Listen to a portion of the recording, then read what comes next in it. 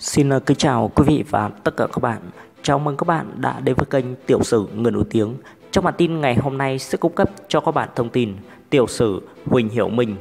Sở hữu gương mặt soái ca lạnh lùng, điển trai cùng với chiều cao lý tưởng, Huỳnh Hiểu Minh sớm thành công trong diễn xuất nhưng cũng vướng không ít scandal.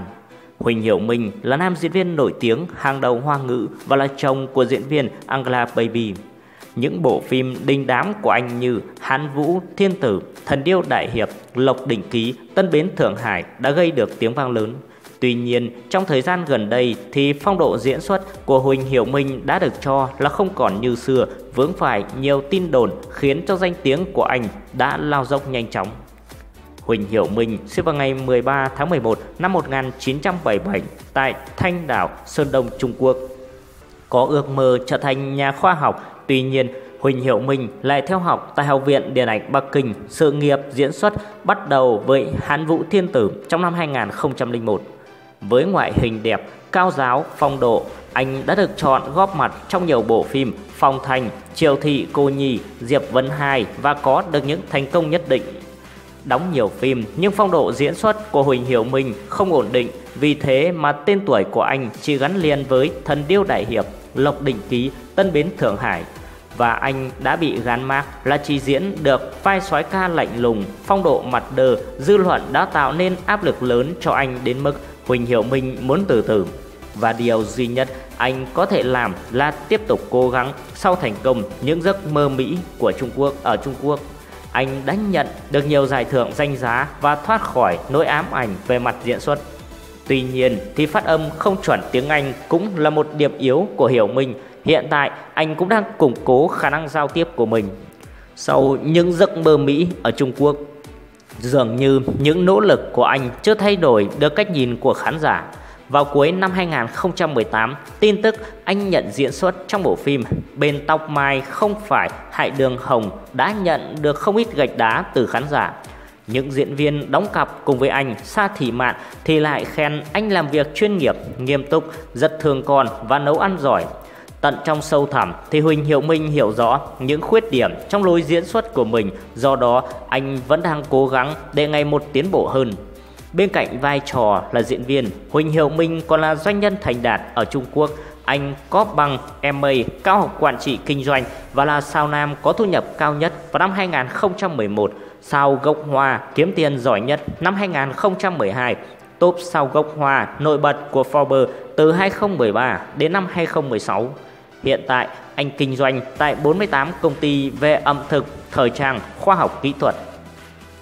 Trong thời gian gần đây, sự nghiệp diễn xuất của Huỳnh Hiểu Minh khá im ắng, nhưng scandal thì dày dặn từ tin đồn ngoại tình, thao túng cổ phiếu, trốn thuế đến tin đồn ly hôn đã ảnh hưởng rất lớn đến hình ảnh, sự nghiệp và cả hạnh phúc gia đình của anh.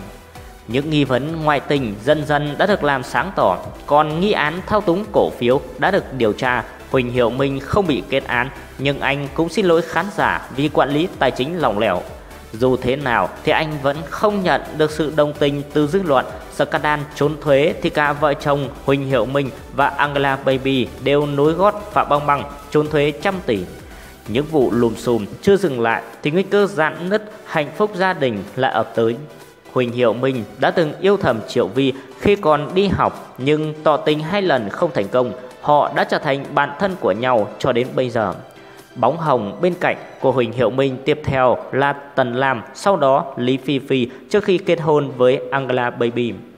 Ngày 8 tháng 10 năm 2015, sau 6 năm yêu nhau ồn ào, Huỳnh Hiệu Minh và Angela Baby chính thức trở về một nhà với nhau.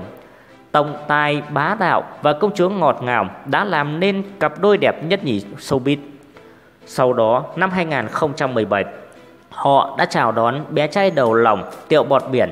Tuy nhiên thì tin đồn Huỳnh Hiệu Minh và Angela Baby đã chia tay đã bắt đầu dấy lên từ năm 2018 với nhiều tín hiệu như ly dị do áp lực tài chính, họ ít xuất hiện cùng với nhau và không còn những lời nói ngọt ngào như xưa. Sau hàng loạt những tin đồn, cuối năm 2018, Huỳnh Hiệu Minh có chia sẻ một số thông tin cho cánh truyền thông. Anh hy vọng những tin đồn về hôn nhân lợi dụng sẽ được chứng minh bằng một gia đình thực thụ. Thay vì mang danh một cặp đôi trai tải gái sắc gia đình hình mẫu cho showbiz hoa ngữ, anh và Angela Baby đã chọn cách mỗi người tập trung vào công việc của mình nên ít xuất hiện.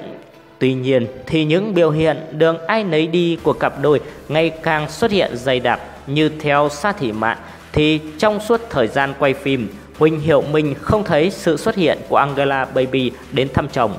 Cô cố chị chia sẻ ảnh đi chơi cùng với con trai mà không có Huỳnh Hiệu Minh bên cạnh. Năm 2018 thì Huỳnh Hiệu Minh đã bị cho là ngoại tình khi mà có hình ảnh thân mật cùng với cô gái lạ. Đến năm 2019 thì có tin đồn Angela Baby ngoại tình với Đặng Luân. Trước những tin đồn như vậy, nhiều lần cả Huỳnh Hiệu Minh và Angela Baby đều phủ nhận. Gần đây nhất thì Huỳnh Lỗi, bạn thân của cặp đôi ngôi sao đã cho hay vì Angela Baby mà Huỳnh Hiệu Minh phải khổ tâm học công thức món kho tàu để nấu cho bà xã phần nào làm dập tắt những lời đồn đại vô căn cứ.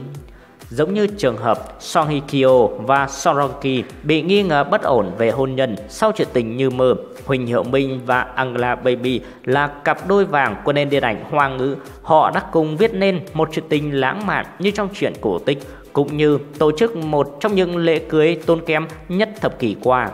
Sau nhiều năm gắn bó là hình mẫu cho gia đình hạnh phúc, này đã đứng trước vực thẳm của sự đổ vỡ đây là những suy đoán, hy vọng khán giả sẽ có sớm câu trả lời chính thức từ người trong cuộc. Cảm ơn các bạn quan tâm theo dõi. Các bạn đừng quên bấm like, đăng ký kênh để ủng hộ chúng tôi.